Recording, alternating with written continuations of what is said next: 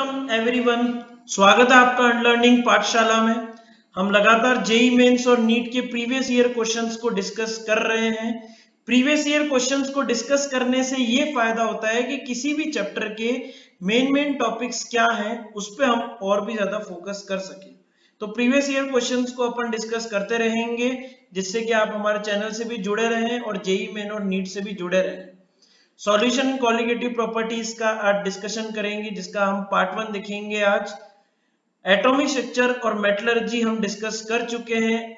जिस बच्चे ने ये दो टॉपिक्स नहीं पढ़े हैं, जिनके प्रीवियस ईयर क्वेश्चंस को नहीं देखा है, जिसका डिस्कशन नहीं देखा है, वो डिस्क्रिप्शन बॉक्स में जाके लिंक पे क्लिक कर सकता है, आपको पता लग जाएगा कि एटॉमिक स्ट्रक्चर के मेन मेन टॉपिक्स क्या क्या थे और मेटलर्जी के क्या क्या मेन टॉपिक्स थे। तो शुरुआत करते हैं। सॉल्यूशन कॉलिगेटिव प्रॉपर्टी के फ़र्स्ट क्वेश्चन।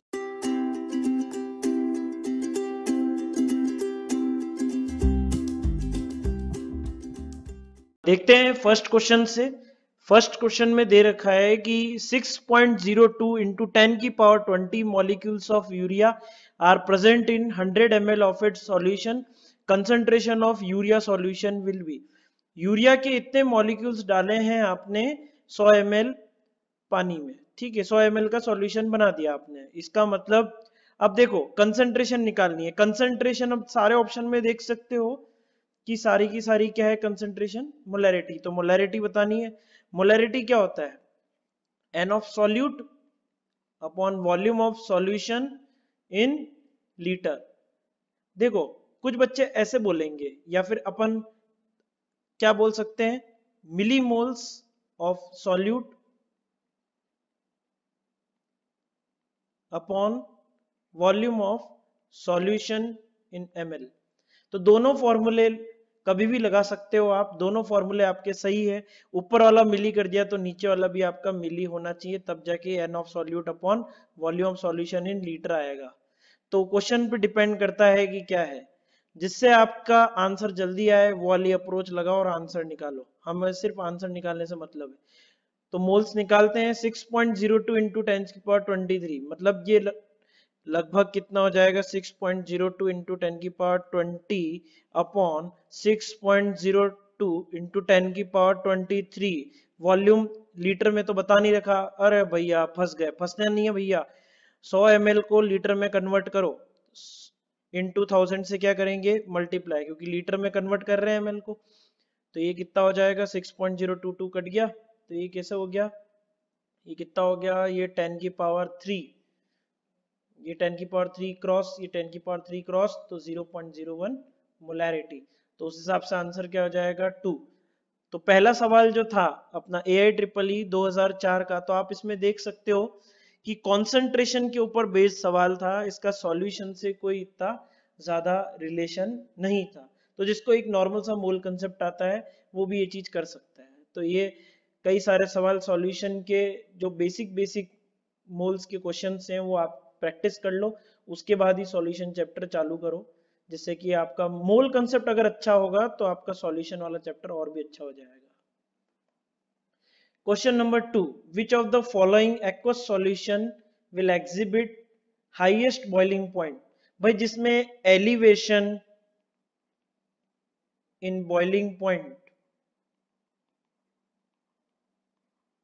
ज़्यादा होगा, उसका सॉल्यूशन का बॉइलिंग पॉइंट क्या होगा? ज़्यादा। ठीक है तो एलिवेशन इन बॉइलिंग पॉइंट जो कि डेल्टा टी भी होता है, वो प्रोपोर्शनल होता है कंसंट्रेशन के, ठीक है, और आई के। अब कंसंट्रेशन आप मोलैरिटी भी ले लो या मोलैलिटी ले लो फ़र्क बस ध्यान इस चीज़ का रखना है कि अगर अलग अलग सॉल्यूशन को आप अगर कंपेयर कर रहे हो, उन सबका बॉइलिंग पॉइंट अगर आप कंपेयर कर रहे हो तो उन सारे सॉल्यूशन की कंसंट्रेशन क्या होनी चाहिए? सेम तो जेई वाले बहुत समझदार लोग हैं तो वो मोलैरिटी देख रहे हैं। तो आप कंसंट्रेशन क्या देखोगे? ऑब्वियसली मोलैरिटी तो मोलैरिटी की तो प्रोपोर्शनल होगा ही सर साथ साथ आई क्या होगा? आई क्या होता है बेटा? वेंट ऑफ़ फैक्टर तो हर एक के लिए अपन देख लेते हैं आई इंटू सी जिसका प्रोडक्ट ज़्यादा होगा, उसमें एलिवेशन ज़्यादा आएगा, उसका बॉइलिंग पॉइंट ज़्यादा होगा। तो I इंटू सी करके देखते हैं हर एक सॉल्यूशन के लिए। तो इसके लिए देखते हैं Na2SO4 के लिए कितना हो जाएगा? पॉइंट ज़ीरो वन इंटू ये आयंस कितने देगा अपने? अब देखो बेटा अल्फ़ा तो दे नहीं रखा है तो इसका मतलब ये इसको स्ट्रॉन्ग इलेक्ट्रोलाइट मानेंगे। जो भी आयनिक कंपाउंड होता है, उसको अपन स्ट्रॉन्ग इलेक्ट्रोलाइट मानते हैं और जो ऑर्गेनिक कंपाउंड होते हैं, उनके डिसोसिएशन काफ़ी कम होती है, पानी के अंदर या होती नहीं है ज़ीरो के बराबर तो इसका अपन कुछ भी नहीं मान सकते डिसोसिएशन होगा ही नहीं। तो Na2SO4 इसका कितना हो जाएगा आपके? आई की वैल्यू कितनी हो जाएगी? तीन। अल्फ़ा गिवन होता तो अपन को आई निकालना पड़ता तो अपन को इतना लोड नहीं लेना है। ठीक है क्वेश्चन आसान सा है। तो नंबर ऑफ़ आयंस कितने प्रोड्यूस करेगा? तीन। तो 0.01 पॉइंट ज़ीरो वन इंटू तीन। इसके लिए कितना हो जाएगा? 0.01 point zero one into two इसके लिए कितना हो जाएगा? 0.015 इंटू वन ठीक है? क्योंकि ये डिसोसिएट काफ़ी कम होता है। तो आई की वैल्यू कुछ भी नहीं होगी, ये आपका डिसोसिएट ही नहीं होगा। नॉन इलेक्ट्रोलाइट बोलेंगे यूरिया को। ग्लूकोज भी ऐसी नॉन इलेक्ट्रोलाइट तो इसका भी कितना हो जाएगा? Point zero one five into one. अब देखो एलिवेशन सबसे ज़्यादा किसमें आएगा? जिसका आई इंटू सी ज़्यादा है, सबसे ज़्यादा आई इंटू सी किसका आ रहा है? Na2SO4 वाले का। इसका मतलब बॉइलिंग पॉइंट किसका ज़्यादा होगा?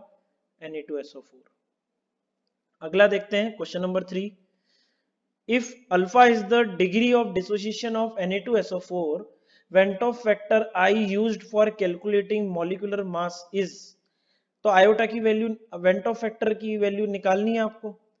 अब आई कैसे निकालोगे? नंबर ऑफ़ आयंस जितने आपके बाद रिएक्शन के बाद जितने हैं, ठीक है, जो कि ऐसे ही बोल सकते हो मोल्स ऑफ़ आयन या नंबर ऑफ़ आयंस इनिशियली पहले कितने थे। तो मैं कंसंट्रेशन भी ले सकता हूँ तो मैं क्या करता हूँ कि वन एम ले लेता हूँ। क्योंकि कंसंट्रेशन तो कट जाएगी यहाँ पे। तो Na2SO4 मैं आपको करके ही बताता हूँ। ऐसा नहीं है कि मैं आपको रटा रहा हूँ। तो Na plus plus twice of नहीं SO4 टू माइनस ये हो गया। तो कंसंट्रेशन लेके बता रहा हूँ, क्योंकि कई सारे बच्चे मेरे से पढ़े हुए नहीं है। तो C into one minus alpha ये आपका कितना लेगा? कंसंट्रेशन मतलब मोल्स के प्रोपोर्शनल होगी तो नंबर ऑफ़ आयंस के प्रोपोर्शनल होगी तो ये कितना हो जाएगा? आपका टू सी अल्फ़ा और सी अल्फ़ा तो आयोटा की वैल्यू रिएक्शन के बाद में कितनी हो जाएगी? तो two C alpha plus C alpha into C into one minus alpha तो ये कितना हो जाएगा? C plus two C alpha upon initially पहले कितना था? सी तो आप देख सकते हो सी तो कट जाता है। इसलिए मैं आपको कह रहा हूँ कि सी तो कट जाता है तो क्यों ना अपन इसको वन मोलरिटी मान लेते हैं हर बार के लिए, ताकि हर बार के लिए काम ही खत्म। पर ऐसा तभी करना जब एक सब्सटेंस आपका डिसोसिएट हो रहा हो अपने आयंस में। तो ऐसा क्या हो जाएगा? One plus two alpha. तो ये हो गया सिंपल। ठीक है? या फिर ऐसे देख लिया करो, moles of ion after reaction. Upon moles of iron before reaction initially पहले कितने थे? आ जाते हैं क्वेश्चन नंबर फोर पे। Equimolar solution in the same solvent have अब देखो बेटा, दो सॉल्यूशन लिए हैं। ये सॉल्यूशन वन ठीक है? और ये सॉल्यूशन टू दोनों की कंसंट्रेशन बराबर है। अगर इक्वी मोलर है तो मुझे बच्चा बताओ कि इन दोनों की मोलैरिटी भी, अगर मोलैरिटी इक्वल है तो मोलैरिटी इक्वल होगी कि नहीं? तो कई सारे बच्चे कंफ्यूज आते हैं कंफ्यूज नहीं होना है। अगर दोनों की मोलैरिटी सेम है तो मोलैलिटी भी सेम है परसेंटेज डब्ल्यू बाय डब्ल्यू भी सेम है परसेंटेज वी बाय वी भी सेम है। अगर दोनों की कंसंट्रेशन सेम कर दो, चाहे कोई सी भी कंसंट्रेशन सेम हो चाहे मोलैरिटी सेम हो तो मोलैलिटी भी उनकी सेम होगी, परसेंटेज डब्ल्यू बाय डब्ल्यू भी सेम होगा। तो ऐसे क्वेश्चन आपको कंफ्यूज कर देते हैं, ये शब्द लाके अपन को बेटा कंफ्यूज नहीं होना है। अगर इनकी मोलैरिटी सेम है तो इनकी मोलैलिटी भी क्या होगी? सेम। इन दोनों की मोलैलिटी क्या होगी? सेम। अब दोनों सेम ही सॉल्वेंट के अंदर डाले गए हैं। इसका मतलब के बी और के की वैल्यू ये भी क्या होगी? सेम इसका मतलब डेल्टा टी बी जो भी आएगी वैल्यू चाहे आप इस सॉल्यूशन वन की ले लो या सॉल्यूशन टू की ले लो, दोनों में सेम आएगा। और डेल्टा टी एफ़ मतलब डिप्रेशन इन फ्रीजिंग पॉइंट भी क्या आएगा? सेम अगर एलिवेशन इन बॉइलिंग पॉइंट आपका सेम आएगा, इसका डेल्टा टी बी वन मान लेते हैं सॉल्यूशन वन का, वो किसके बराबर होगा? डेल्टा टी बी टू जो भी सेकंड सॉल्यूशन अगर दोनों का एलिवेशन इन बॉइलिंग पॉइंट बराबर है ऑब्वियसली बराबर होगा क्योंकि मोलैलिटी सेम है, आपके के वी के एफ़ की वैल्यू भी क्या है? सेम तो दोनों की वैल्यू क्या हो गई? सेम ठीक है? सॉल्यूट के बारे में बता नहीं रखा है कि सॉल्वेंट के अंदर डाला क्या है तो हम ये मान के चलेंगे कि दोनों में सेम टाइप का ही सॉल्यूट डाला है तो आई की वैल्यू भी क्या होगी? सेम तो अगर एलिवेशन इन बॉइलिंग पॉइंट आपका सेम है और फ्रीजिंग पॉइंट भी क्या होगा? सेम फ्रीजिंग पॉइंट के अंदर डिप्रेशन जो भी आएगा, वो भी क्या होगा? सेम इसका मतलब same boiling point and same freezing point इतना लंबा सॉल्यूशन मुझे बताना पड़ा क्योंकि ये आपको ये बताना पड़ेगा मुझे क्योंकि कई सारे बच्चों को तो यही पता नहीं है कि दो सॉल्यूशन के अगर मोलैरिटी सेम है तो उनकी मोलैलिटी भी सेम होगी परसेंटेज डब्ल्यू बाय डब्ल्यू भी सेम होगी. वरना इतना लंबा बताना ही नहीं पड़ता। बस मोलैलिटी सेम है के बी के एफ़ की वैल्यू सेम है, क्योंकि दोनों सेम सॉल्वेंट के अंदर डाले गए तो बस बात खत्म बॉइलिंग पॉइंट और फ्रीजिंग पॉइंट दोनों का क्या होगा? सेम तो डायरेक्ट ही बोल सकते थे, बहुत लॉजिकल क्वेश्चन तो आ जाते हैं क्वेश्चन नंबर फाइव पे। Two solution of a substance that is non electrolyte मतलब डिसोसिएट नहीं हो रहा है अपना पानी में are mixed in a following manner 48 480 ml of first solution dash dash dash 520 इतना ये सब कुछ। फाइनल वैरायटी बतानी, दो सॉल्यूशन को मिला दिया। ठीक है? अब ऑब्वियस ही बात है, दो सॉल्यूशन को मिला दिया तो मोल्स भी बढ़ेंगे वॉल्यूम ऑफ़ सॉल्यूशन भी इंक्रीज होगी। तो दोनों बढ़ेंगे। इसका मतलब मोलैरिटी चेंज होगी। अब मोलैरिटी का दो फॉर्मूले होते हैं n of solute moles of solute upon volume of solution in litre एक फॉर्मूला तो ये होता है और एक मिली मोल भी बोल सकते हो? Solute upon volume of solution in ML देखो बेटा, दोनों रस्तों से आंसर सेम ही आएगा। लेकिन अगर अपन ये वाला फॉर्मूला इस्तेमाल करेंगे तो आंसर जल्दी आ जाएगा और हमारे को यही चाहिए होता है एग्जामिनेशन टाइम पे कि हमारा आंसर जल्द से जल्द आए। तो मिलीमोल्स टोटल मिलीमोल्स बढ़ जाएँगे। एक तो इसके मिलीमोल प्लस इसके मिलीमोल क्योंकि दोनों इलेक्ट दोनों के दोनों में सब्सटेंस क्या है? सेम डाला गया है, दोनों में। तो 480 अगर अलग अलग सब्सटेंस होता तो अपन मिलीमोल्स को प्लस नहीं कर सकते थे। 480 एट्टी इंटू ये तो हो गए मिलीमोल आ गए। 520 ट्वेंटी इंटू वन ये मिलीमोल आ गए। ठीक है, दोनों को प्लस कर दिया वॉल्यूम टोटल कितनी हो जाएगी? हज़ार एम हो गए? अब देखो, ये कैलकुलेशन काफ़ी टफ लग रही होगी बच्चों को। नहीं बेटा, आसान सी कैलकुलेशन है। आप ऐसा क्या करो, जुगाड़ सा करो। 50 माइनस टू इंटू फिफ्टीन ऐसे लिख सकते हैं पहले वाले एक्सप्रेशन को। तो ऐसा इसकी वजह से वैल्यू कितनी आ जाएगी? 750 फिफ्टी माइनस थर्टी तो ये कितना हो जाएगा? 720 ठीक है, और 5 52 इंटू ट्वेल्व को अपन क्या लिख सकते हैं? 50 प्लस टू इंटू ट्वेल्व। तो ये कितना आ जाएगा? 600 और 24 तो ये 624 तो दोनों को प्लस कर देते हैं तो ये कितना आ जाएगा? One three four four upon thousand. तो ये कितना आ जाएगा? One point three four four. फटाफट सवाल हो गया ना, देखो। सिर्फ़ आपको मैथमेटिक्स का काम करना था इसमें, बाकी जनरल सा सवाल था। क्वेश्चन नंबर सिक्स पे आ जाते हैं। Benzene and toluene form nearly ideal solution मतलब दोनों आइडियल सॉल्यूशन बना रहे हैं। वेपर प्रेशर दे रखा है बेंजीन का। कितना दे रखा है भैया? 75 टॉर वेपर प्रेशर ऐसी टॉलविन का दे रखा है आपका कितना? 22 टॉर ठीक है पार्शियल वेपर प्रेशर बताना है बेंजीन का। इसका मतलब वेपर प्रेशर टॉलविन से हमें कोई मतलब है क्या? नहीं, बिल्कुल भी कोई मतलब नहीं है। इसका फालतू डाटा दे रखा है, इतना बड़ा क्वेश्चन कर रखा है, अपन को सिंपल पार्शियल प्रेशर पूछा है, किसका? बेंजीन का, जो कि किसके बराबर होगा? कितने बराबर हो जाएगा? एक्स बी जिसमें ये क्या होता है? मोल फ्रैक्शन बेंजीन का इनटू वेपर प्रेशर जो भी आपका बेंजीन का होता है। तो मोल फ्रैक्शन निकालते हैं अपन। एक्स बी क्या हो जाएगा?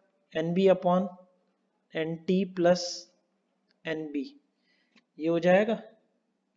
ठीक है तो एन बी की वैल्यू निकाल के देखते हैं। अब इसका 78 दे रखा है ग्राम। ठीक है बेंजीन का देख लो सी सिक्स एच सिक्स तो इसका मतलब 72 प्लस सिक्स तो ये कितने? 78 ग्राम आ जाएगा आपका मोलर मास ठीक है, इसका मतलब बेंजीन के मोल तो हो गए एक। ठीक है, क्योंकि 78 ग्राम दे रखा है मोलर मास निकाल लिया। टॉलविन का मोलर आपको मोल्स निकालने हैं। टॉलविन क्या होता है बेटा? ऐसा कुछ होता है?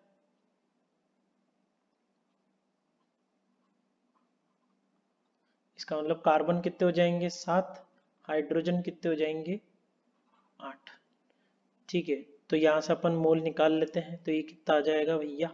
इसका मोलर मास पहले निकाल लो फटाफट। Seven into twelve plus eight तो ये कितना आ जाएगा? Eighty four plus eight. जल्दी जल्दी कैलकुलेशन करनी बेटा। Ninety two gram. ठीक है तो मोल्स कितने आ जाएँगे? टॉलविन के forty six upon ninety two मतलब अप्रोक्सीमेटली अप्रोक्सीमेटली क्या? Exact value one by two आ रही है। ठीक है तो बेंजीन के मोल फ्रैक्शन कितने आ जाएँगे? One upon one point five तो ये कितना आ जाएगा आपका? टू बाय थ्री तो पार्शियल प्रेशर कितना आ जाएगा? भैया बेंजीन का two by three into vapour pressure कितना है? सेवेंटी फाइव तो ये आपका आ गया पच्चीस. ये आ गया पचास टोर ठीक है सिंपल सा था सवाल. तो आपको बस ये फॉर्मूला अप्लाई करना था. बाकी अपन ने मोल्स मोल फ्रैक्शन निकालने थे फट फट फट. क्वेश्चन नंबर सेवन पे आ जाते हैं. डेंसिटी दे रखी है एसिटिक सॉल्यूशन की. एसिटिक एसिड के सॉल्यूशन की इतनी कुछ, इसकी मोलैरिटी कुछ दे रखी है। आप क्या करो, डाटा को पहले ही लिख दो। सॉल्यूशन की मोलैरिटी बेटा कितनी है? 2.05 ठीक है? और डेंसिटी दे रखी है, सॉल्यूशन की कितनी दे रखी है? 1.02 ग्राम पर एमएल आपको बतानी है मोलैलिटी मोलैलिटी जिसको हम छोटे एम से भी बोलते हैं तो ये बतानी है। जो कंसंट्रेशन आपको निकालनी है। अब इसमें देख सकते हो, जो कंसंट्रेशन अपन को निकालनी है, सबसे बढ़िया रहता है उसका फॉर्मूला आप पहले लिख दो। प्रोवाइडेड फॉर्मूला आपको याद होना चाहिए। तो एन ऑफ़ सॉल्यूट जो कि कितना हो जाएगा? C H three C O H जो कि आपका सॉल्यूट है। ठीक है? अपॉन मास किसका आ जाता है इसमें? सॉल्वेंट का। अगर आप सॉल्वेंट का मास ग्राम में ले रहे हो तो आप क्या करोगे? थाउज़ेंड से मल्टीप्लाई क्योंकि केजी में होना चाहिए आपका इसमें मोलैलिटी में। ठीक है तो ये वाला अपन फॉर्मूला लगा लेते हैं मोलैलिटी का। तो अपन को क्या चाहिए बेटा? मोल्स दे, मोल्स चाहिए C H three C O H के। और सॉल्वेंट का मास चाहिए। फंस गए भैया, वो तो दे ही नहीं रखा है। कंसेंट्रेशन बता रखी और डी ऑफ़ सॉल्यूशन दे रखा है। मोलैरिटी बता रखी है। अब नहीं दे रखा है तो अपन क्या करें? इसके लिए सबसे बेस्ट क्या रहता है? आप किसी एक कंसंट्रेशन टर्म में डिनोमिनेटर को वन करने की कोशिश करो। किसी भी एक कंसंट्रेशन में तो मैं क्या करता हूँ मोलैरिटी को पकड़ लेता हूँ। तो मोलैरिटी में अगर आपको डिनोमिनेटर वन चाहिए तो मैं क्या अज्यूम कर लेता हूँ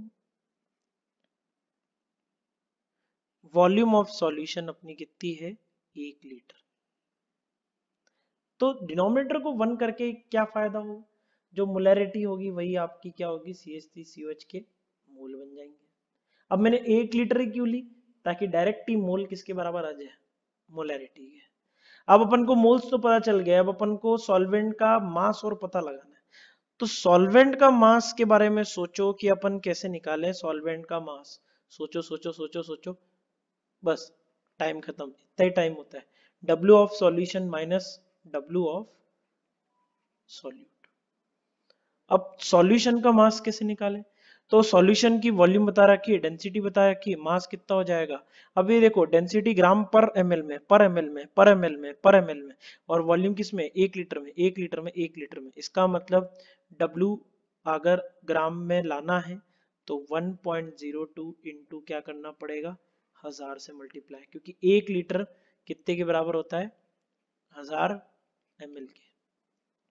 माइनस डब्ल्यू ऑफ़ सॉल्यूट जो कि कितना हो जाएगा? 2.05 जो कि मोल है मल्टीप्लाई बाय सॉल्यूट का मोलर मास तो मोलर मास निकाल के देखते हैं तो ये कितना आ जाएगा भैया?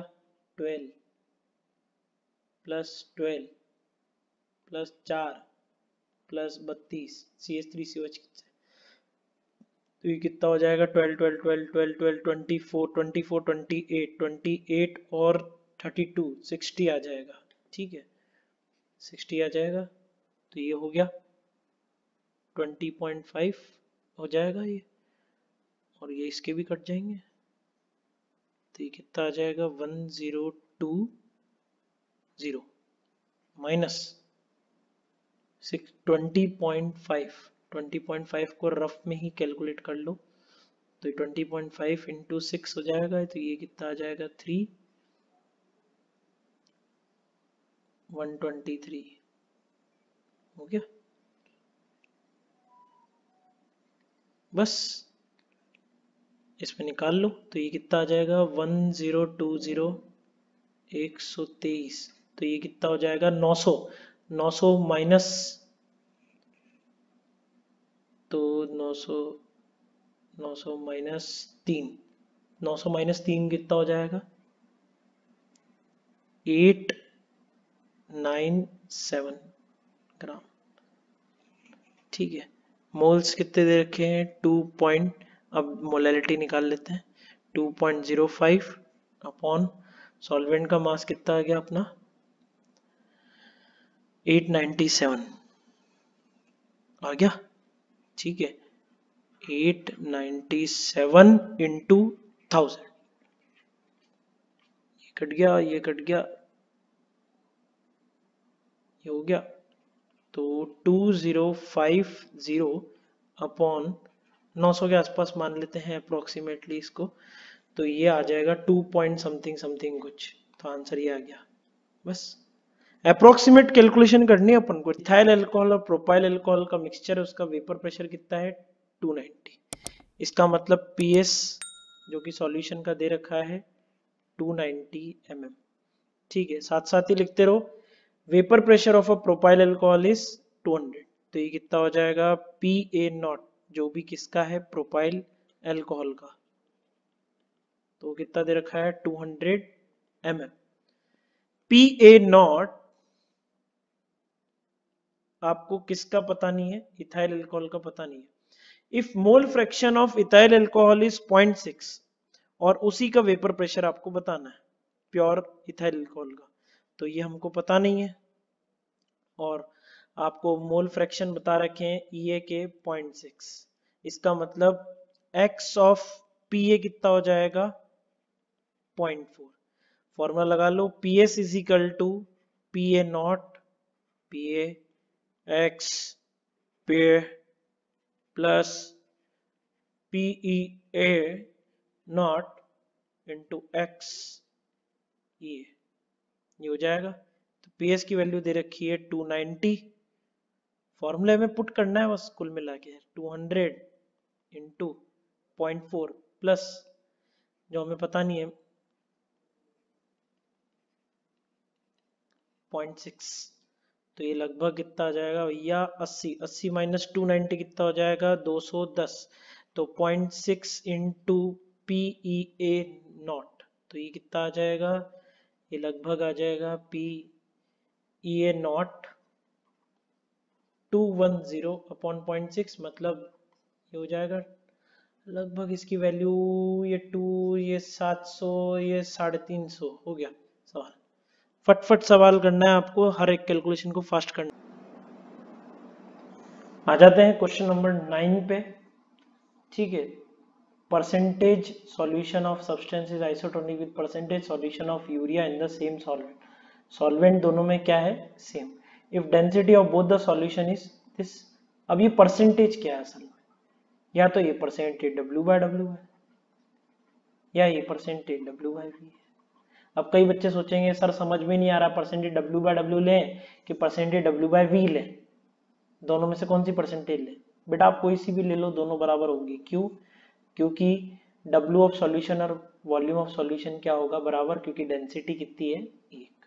तो आप कोई सी भी लो तो हम अपने रेफरेंस के लिए क्या कर लेते हैं? इसको परसेंटेज डब्ल्यू बाई वी मान लेते हैं। इसके पीछे लॉजिक बताता हूँ। कि परसेंटेज डब्ल्यू बाई वी क्यों ले रहे हैं? अब देखो, दोनों सॉल्यूशन आइसोटोनिक हैं। इसका मतलब दोनों का ऑस्मोटिक प्रेशर क्या होगा? बराबर। तो C1 one R T equal to C two R T दोनों का टेम्परेचर बराबर ही है। मान के चलना पड़ेगा, नहीं भी दे रखा होगा तो। इसका मतलब दोनों की कंसेंट्रेशन क्या है? बराबर। तो दोनों की मोलैरिटी क्या होगी? सेम तो मोलैरिटी बराबर कर लेते हैं। तो अज्यूम कर लेते हैं कि 100 ml का वॉल्यूम ऑफ़ सॉल्यूशन है। ठीक है 100 ml का वॉल्यूम ऑफ़ सॉल्यूशन अब दोनों ही केस में वॉल्यूम तो क्या होगी? अगर दोनों की मोलैरिटी सेम है, ठीक है, दोनों की मोलैरिटी क्या है? सेम। वॉल्यूम ऑफ़ सॉल्यूशन दोनों में क्या है? 100 है। तो वॉल्यूम सेम आ गया तो मोल्स क्या होंगे? सेम। ठीक है, मोल्स क्या होंगे? सेम।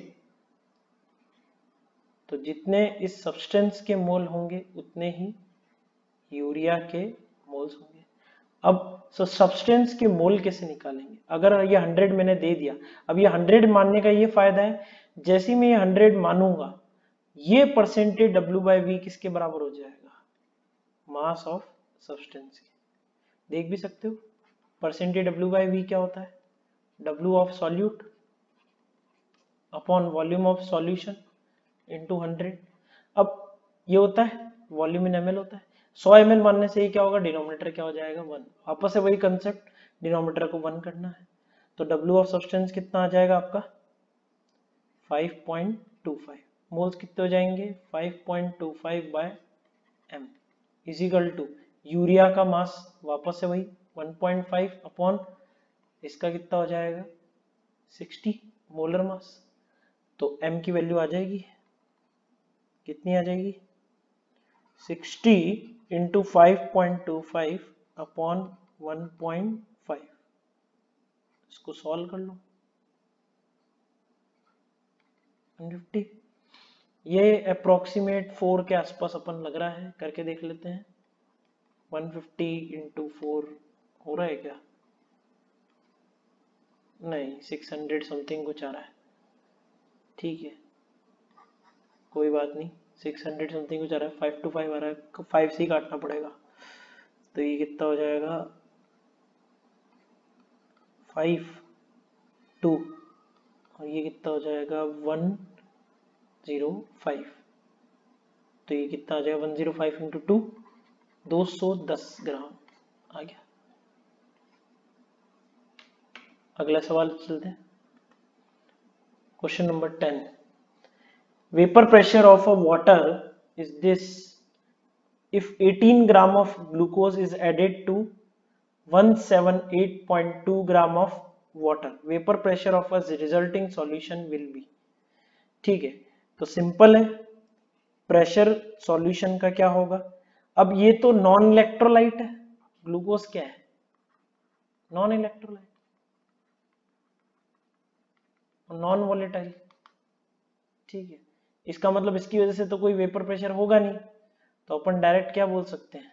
वेपर जो भी प्रेशर आएगा, जो पूरे कंटेनर में होगा, वो सिर्फ़ किस वजह से होगा? पानी की वजह से। तो P W not P W not into X of W ठीक है? तो पी डब्ल्यू नॉट कितना दे रखा है आपको? 17.5 मोल्स पानी के कितने हो जाएँगे? 178.2 by 18 upon 178.18 प्लस इसके मोल कितने जाएँगे? ग्लूकोज के 18 अपॉन इसका 120 होता है मोलर मास आप कैलकुलेट करके देख लेना ग्लूकोज का। ठीक है? तो ये लगभग हो जाएगा, इसको सॉल्व करना पड़ेगा। Seven one seventy eight point two upon eighteen तो ये हो जाएगा अट्ठारह अट्ठारह को अगर अपन नौ से मल्टीप्लाई नहीं नहीं कर सकते नौ नौ नौ से मल्टीप्लाई करके देखते हैं। नहीं, मत करो। सॉल्व ही कर लेते हैं पूरा।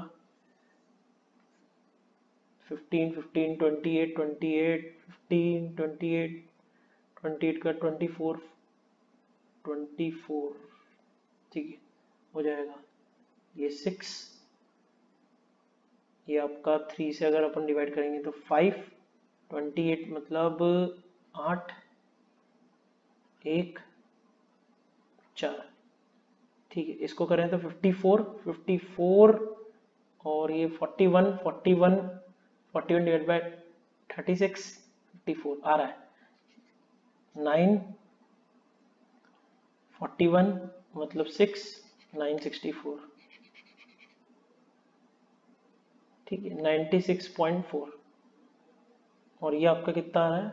पॉइंट वन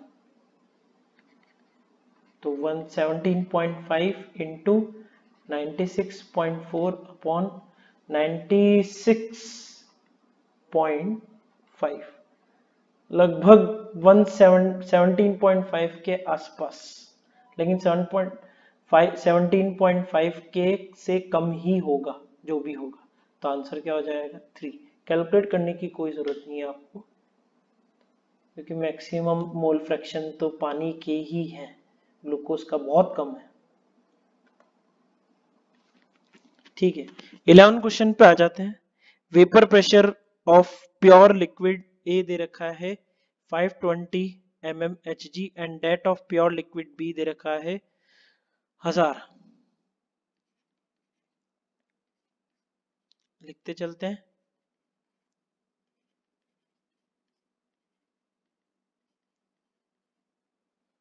ठीक है mixture solution boils at this is 180 ठीक है तो वेपर प्रेशर एक तरीके से आपका सॉल्यूशन अगर इसमें बॉईल हो रहा है, इसका मतलब ये कितना हो जाएगा 760 सिक्सटी ठीक है, आपको मोल फ्रैक्शन बताने हैं मिक्सचर में ए के, वापस से वही फॉर्मूला 760 अब ए के बताने ना तो उसके टर्म में ही लाने की कोशिश करो फॉर्मूले में। तो mole fraction of X into five twenty plus thousand into one minus X ऐसा कर लिया। तो थाउज़ेंड माइनस माइनस में आएगा क्योंकि ये हज़ार है और ये क्या है? फाइव ट्वेंटी तो हज़ार माइनस फाइव ट्वेंटी कितना हो जाएगा? ठीक है, पाँच सौ पाँच सौ माइनस बीस फोर एट्टी एक्स से। और ये कितना हो जाएगा? 760 760 को अगर अपन इससे माइनस कर देंगे हज़ार से तो लगभग 300 300 माइनस साठ, तीन सौ माइनस साठ two forty equal to four eighty X A X A की वैल्यू कितनी आ जाएगी? पॉइंट फाइव इसका मतलब परसेंटेज एक्स ए कितना हो जाएगा आपका? पचास प्रतिशत। बस आंसर अगले क्वेश्चन करते हैं। Question number twelve. एनहेप्टेन को और इथेनॉल को मिक्स किया है। Which of the following statement is correct regarding the behaviour of solution दो सॉल्यूशन को मिक्स कर दिया है तो ये इतना तो पता चल ही गया कि इसमें मोलर मास का काफ़ी अंतर है, आसपास तो है नहीं तो आइडियल सॉल्यूशन तो नहीं बनेगा। इन दोनों का जो भी सॉल्यूशन बनेगा वो नॉन आइडियल होगा। अब देखते हैं पॉजिटिव होगा कि नेगेटिव होगा। अब इन दोनों के बीच में फोर्स ऑफ़ अट्रैक्शन ज़्यादा होगा कि इथेनॉल इथेनॉल के बीच में ज़्यादा होगा। इथेनॉल इथेनॉल के बीच में एच बॉन्डिंग होगी, लेकिन इन दोनों के बीच में कोई भी इस तरीके की बॉन्डिंग नहीं होगी। इसका मतलब डालने के बाद फोर्स ऑफ़ अट्रैक्शन क्या हुए हैं? किसी इंडिविजुअल पार्टिकल को देख लेंगे। कम हुए इसका मतलब इथेनॉल और इथेनॉल की जो फोर्स ऑफ़ बॉन्डिंग है, वो ई e एच से क्या होगी? ज़्यादा होगी। फोर्स ऑफ़ अट्रैक्शन कम हुए डालने के बाद फोर्स ऑफ़ अट्रैक्शन अगर आपके कम हुए हैं, इसका मतलब कम उड़ेगा। कम उड़ेगा। नहीं, ज़्यादा उड़ेगा। फोर्स ऑफ़ अट्रैक्शन तो कम हुए ना तो ज़्यादा उड़ेगा। कौन आपका? सॉल्यूशन सॉल्यूशन अगर ज़्यादा उड़ेगा, इसका मतलब पी एस की वैल्यू इस पूरी आइडल सॉल्यूशन वाले जो होता है कि P E not X E plus P H not X H इन सबसे ज़्यादा होगी पी एस की वैल्यू जो भी एक वैल्यू होगी, ये अपेरेंट वैल्यू से क्या होगी? ज़्यादा होगी। जो भी आइडल सॉल्यूशन है उससे ज़्यादा होगी। इसका मतलब आपका पॉजिटिव डेविएशन हो गया। तो इस तरीके से देखना होता है। क्वेश्चन नंबर थर्टीन में आ जाते हैं। दो लिक्विड है, दोनों आइडियल सॉल्यूशन बना रहे हैं। वेपर प्रेशर दोनों के सॉल्यूशन का कितना है? ऐसा कुछ है। तो वेपर प्रेशर सॉल्यूशन का कितना है? 550 ठीक है। और मोल्स दे रखे हैं। कितने मोल्स हैं भैया एक्स के? एक वन मोल एक्स है और तीन मोल वाई है। ठीक है। One mole of Y is further added vapour pressure of solution is increases by 10 mm ठीक है, एक मोल और डाल दिया। इसका मतलब एक्स के मोल तो बराबर ही, उतने ही रहेंगे और इसके कितने बोल जाएँगे? चार मोल वाई अब नया वेपर प्रेशर कितना हो जाएगा? सॉल्यूशन का दस से बड़ा है। दस से बड़ा है, बाय बोला है, ठीक है? तो 560 सिक्सटी एम इतना हो जाएगा। आपको बताना है दोनों का वेपर प्रेशर तो ऐसा कर लेते हैं। एक्स का वेपर प्रेशर हम एक्स मान लेते हैं। इसका तो वेपर प्रेशर क्या मान लेते हैं? प्योर वेपर प्रेशर कितना इसका मान लेते हैं? एक्स इसका वेपर प्रेशर जो भी वाई का होता है, वो अपन वाई मान लेते हैं। तो एक्स इंटू मोल फ्रैक्शन कितने हो जाएँगे? एक्स ए के। One by four plus Y into three by four is equal to five fifty ऐसा इसका ही देख लो आप। X into one by five plus Y into four by five तो ये कितना हो जाएगा? 560 दोनों इक्वेशन को सॉल्व कर लो। आई होप आप लोग सॉल्व कर लोगे तो सिंपल सी मैथमेटिक्स है। अब ये आपको सॉल्व करना पड़ेगा। सारे क्वेश्चन तो मैं अब सॉल्व कर नहीं सकता। कुछ क्वेश्चन आप भी सॉल्व करो। थोड़ा आप दो, फिर थोड़ा हम देंगे। दो इक्वेशन दो वेरिएबल सॉल्व कर लो। Question number 14 if sodium sulfate is considered to be completely dissociate into cations and anions the change in freezing point delta tf when 0.01 mole of sodium sulfate is dissolved in this this this. ठीक है? तो इसका मतलब molality molality तो कितनी हो जाएगी? Point zero क्योंकि एक के में डाला है और डेफिनेशन के हिसाब से एक के में जितना भी मोल डाला होता है, वो मोलैलिटी के बराबर होता है। तो सोडियम सल्फेट की मोलैलिटी तो आएगी अब के की वैल्यू आपको दे रखी है तो फॉर्मूला लगा लो। अब वो बोल रहा है डिसोसिएट होता है मतलब नॉन इलेक्ट्रोलाइट नहीं है अच्छा खासा इलेक्ट्रोलाइट है। तो van't Hoff factor into M into K F तो इसकी वैल्यू कितनी आ जाएगी? अब देखो, ये केटाइंस और एनाइंस में कैसे टूटेगा? Na2SO4 ये पहले वाला ही क्वेश्चन है।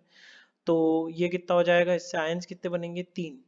मोलैलिटी कितनी है? पॉइंट ज़ीरो वन और के एफ़ की वैल्यू कितनी है? वन पॉइंट एट सिक्स ठीक है, इसको एक बड़ा हंड्रेड बोल सकते हैं। तो ये लगभग हो जाएगा 18 को 3 से मल्टीप्लाई करो 54 के आसपास। थाउज़ेंड हंड्रेड से डिवाइड कर दिया तो ये लगभग कितना आ जाएगा? ये वैल्यू आ जाते हैं क्वेश्चन नंबर 15 पे। वेपर प्रेशर दोनों लिक्विड कंपोनेंट का बता रखा है, इतना है इतना है। मतलब पी एच नॉट तो कितना हो गया? 105 आगे वाला और ऑक्टेन का, पीछे वाला। 45 किलो पास्कल इसका भी किलो पास्कल में तो पीएस भी आपका किलो पास्कल में आएगा। Vapour pressure of a solution obtained by mixing this अच्छा ध्यान रहे, जो अपन सॉल्यूशन का जो पीएस निकालेंगे वेपर प्रेशर निकालेंगे, जो कि होता है P H not X H plus P O not X O ये जो फॉर्मूला अपन लगाते हैं ये हमेशा आइडियल सॉल्यूशन के लिए लगाना है आपको। ध्यान रखना इस बात के लिए। नॉन आइडियल सॉल्यूशन में पीएस की जो ये वैल्यू है, इसमें इक्वल टू की जगह या तो ग्रेटर देन आ सकता है या लेस देन आ सकता है। इसका मतलब या तो पॉजिटिव डेविएशन होगा या नेगेटिव डेविएशन होगा इस वाली वैल्यू से।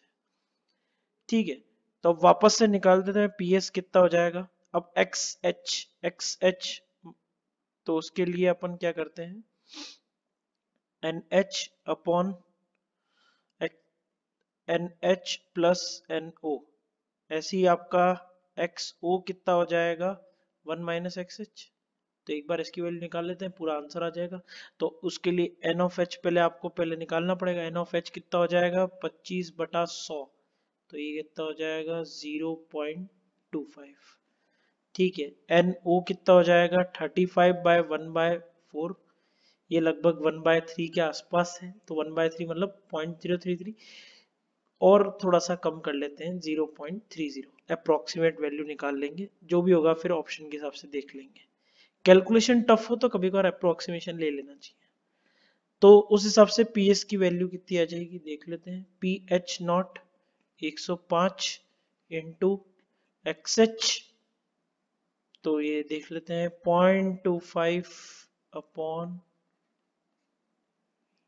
point five five plus तो ये पॉइंट टू फाइव अपॉन ये कितना हो जाएगा? तो लगभग 2.2 मतलब 50 परसेंट देख लें। अगर x h की वैल्यू 0.5 ले लें तो इसकी भी 0.5 के आसपास होगी।